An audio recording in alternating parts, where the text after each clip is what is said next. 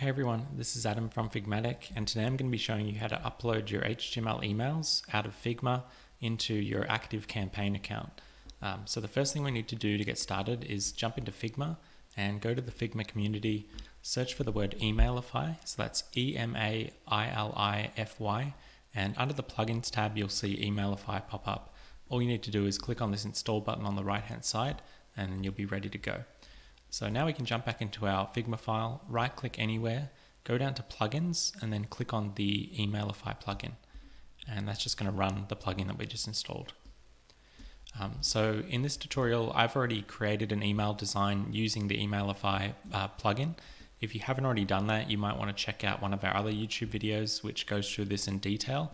Um, but for today's tutorial, I'm just going to assume you've already got your email designed using the Emailify plugin and we're just going to be exporting that out into our active campaign account.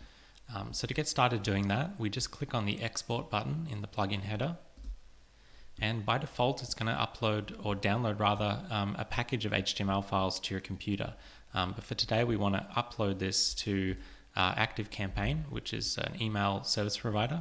So instead of doing HTML, I'm going to click on the drop down, scroll down to the upload to platform group, and today I'm going to click on the active campaign option.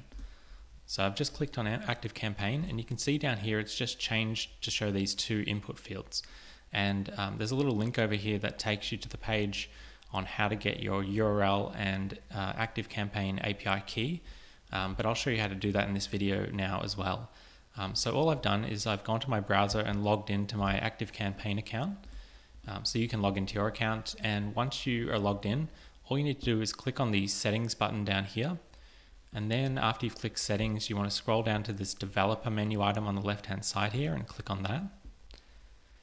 And when that page loads, you'll see this developer page with a box called API access.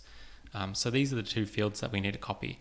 So I'm going to grab my URL. So I'm going to highlight that um, Active Campaign URL, which has my account name and this little API-us1.com. So I'm copying that going back to my Figma plugin and pasting that on the left hand side here in the URL input. So paste that in, jump back into Active Campaign, and I'm also going to grab my API key.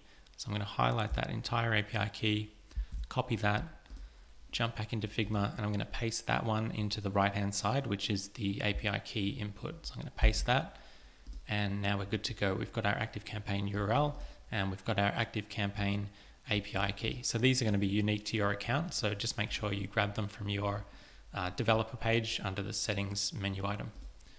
Okay, so we've got those two things in there now, and all we need to do is make sure we're happy with our email. So I've just got the one email for today. I'm happy with my subject line and the design. So I'm ready to go. All I need to do is click on this upload to active campaign button. So I'm going to click that now. This is now exporting the HTML. It's generating all the HTML automatically. It's exporting all of the images from the email. Um, it's going to upload all of those. And then when it's done, it's going to send that email up to our Active Campaign account.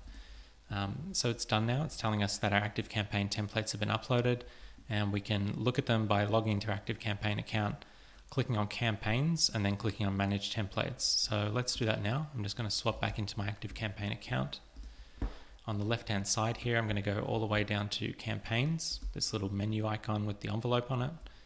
So I've clicked on campaigns and now I'm going to go to the left hand side and click on manage templates.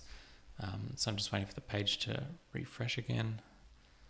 There we go. So I'm under campaigns now and now I just want to click on the manage templates uh, menu item on the left hand side here. So I'm going to click on that and once that loads, we should see our email. So there we go. Uh, this is the email that we just uploaded a moment ago from Figma. Um, so I can actually go ahead and click on that. I just click on this little edit button and that should take me to my email that's just been uploaded. So we should be able to have a look at it uh, in the preview. So it's just loading up and there we go. We can see on the left hand side here is all of our HTML. So this is what was uh, generated and then uploaded via the Emailify Figma plugin. So we sent it directly from Figma over to ActiveCampaign and this is all the code on the left here. And then on the right hand side, uh, we've also got our preview. So this is all the rendered HTML uh, from the left hand side getting rendered. Um, so it's looking great, it's looking as we'd expect. And all of our images are there, all of our uh, links, all of our rich text, and everything's looking really good. Um, so you can make changes to that if you wanted to on the left hand side here, but um, for today I'm just going to leave it because it's looking uh, exactly how I wanted it from my original Figma design over here. Um, so that's basically it. You can you can either save that if you've made changes or just jump back to the uh, the, the campaign panel. So I'm just going to click on previous there. And uh, that's just one template. Obviously, if you have more in your uh, design or in your Figma file, you can select multiple designs and upload them, and that'll up actually upload uh, multiple custom templates as well.